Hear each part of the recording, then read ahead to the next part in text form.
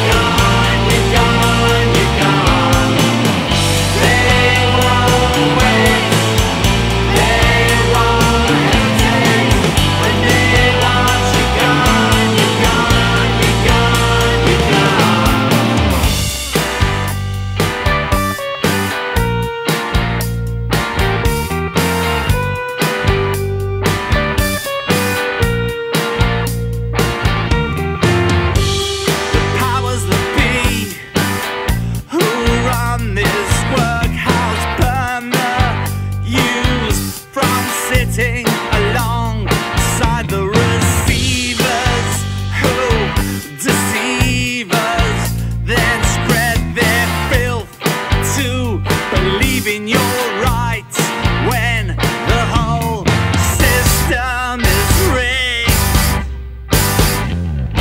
It's all.